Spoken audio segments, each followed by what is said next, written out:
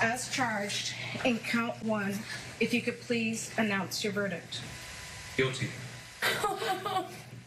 Mr. Foreperson, if you could please announce your verdict. Guilty.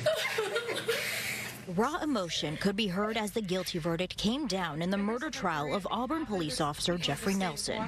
A jury found him guilty of unnecessarily using deadly force when he shot and killed Jesse Sarey twice while attempting to arrest him for disorderly conduct outside of a convenience store in 2019.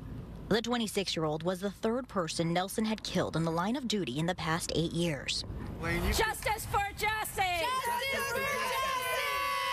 After the jury delivered that guilty verdict, Jesse's foster mom, Elaine Simons, talked with media outside the courthouse. This is justice not only for the Sarey family, this is justice for Washington State, for families past for I 940 forward. It was probably one of the most validating to believe that the system works. Elaine says this is something Jesse's family has been waiting for. His mom died waiting for justice. Your son is at peace right now, and he's with you, and he's with his younger brother, his um, older brother. Elaine says she can focus on trying to heal and is going to a healing conference next weekend.